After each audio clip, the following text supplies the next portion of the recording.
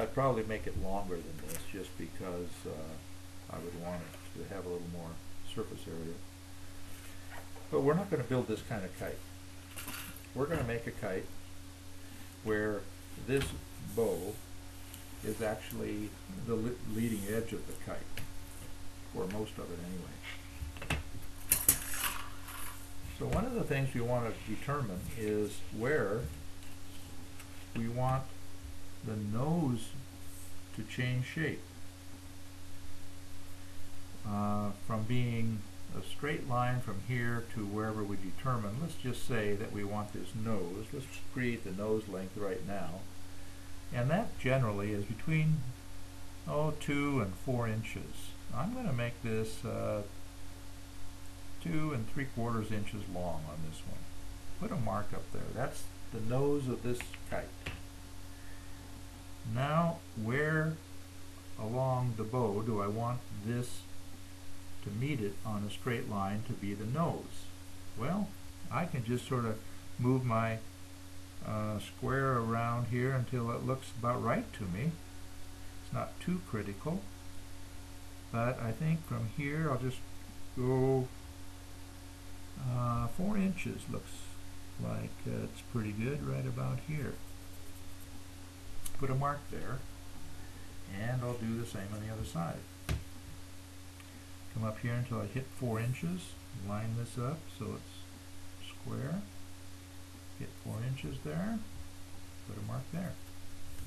Now, to create the nose area, I draw a line between the nose that I made, the nose mark on the spine, and these uh, marks I made on the bow.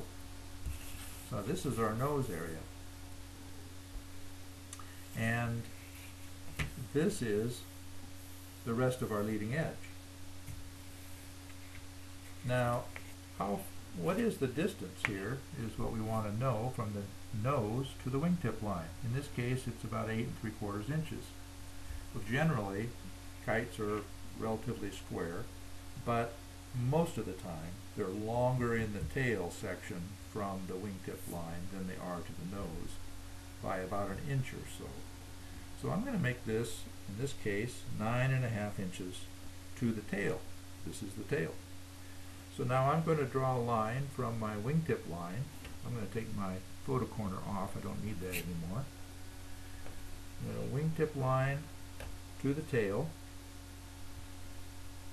Draw a line here. That's my trailing edge. And I'll do the same on this side. Now I make a full-size template because I like to cut out the full size of the kite all at one time.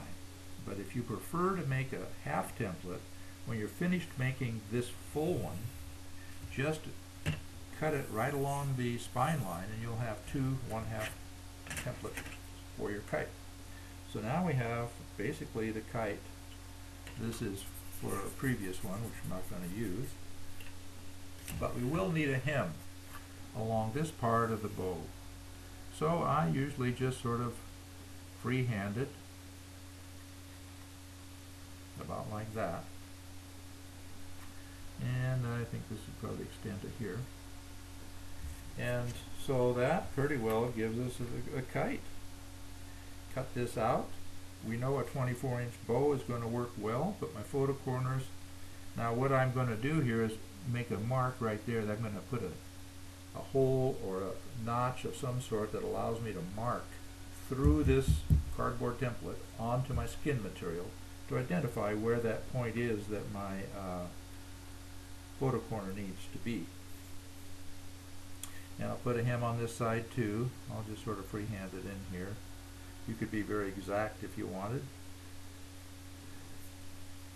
And you can now, you can draw however many of any battens you want. I usually put two battens on each side. And often they're See, this is about almost 14 inches in its length along the trailing edge. And divide that into about thirds, and that's about where you want the two different uh, points. And I usually aim them either towards the nose from the trailing edge to the nose or trailing edge to the point where the bow and the spine cross. And I draw them right up to the uh, wingtip line because they can be longer than that. They can be as long as you want them, really. It, uh, it's totally up to you. But quite often, having the uh, battens so that they are below the wingtip line means that the weight distribution, you'll have a little more weight down here, and often you, you will want that in balancing the kite. Now when you make this kite, you're going to probably put some tape right along this leading edge of the nose.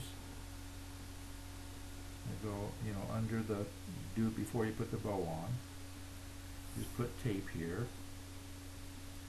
And uh, that'll reinforce that edge. And that's basically how you draw and design a fighter kite.